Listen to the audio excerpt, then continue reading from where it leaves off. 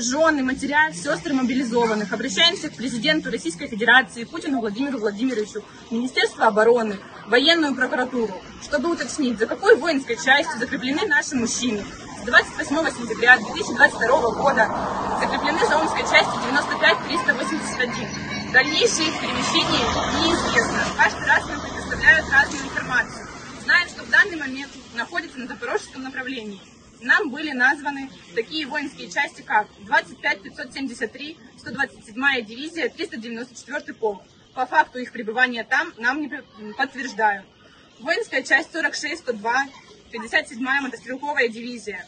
Обращаемся от имени наших мужчин. 16 марта 23 года, находясь в зоне СВО, с 4 июня 23 года начало контрнаступления и по 25 июня не проходила ротация. Наши мужчины три недели находились под обстрелами ВСУ. Артиллерийская поддержка не оказывалась, боеприпасы в нужном количестве не поступали, техника не предоставлялась. Мужчины не отказываются от выполнения боевых задач. Однако из-за непредоставления боевой техники были вынуждены отступать со своих позиций, в тыловые позиции.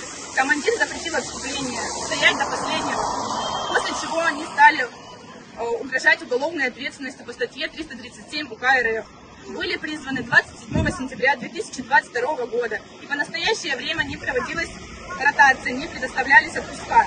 28 июня 2023 года были написаны рапорта, где они просили о помощи в предоставлении техники и боеприпасов. Им пообещали предоставить необходимую помощь, вывести на третью линию фронта, а вывезли, по словам, э, на первую линию и без поддержки. Просим разобраться.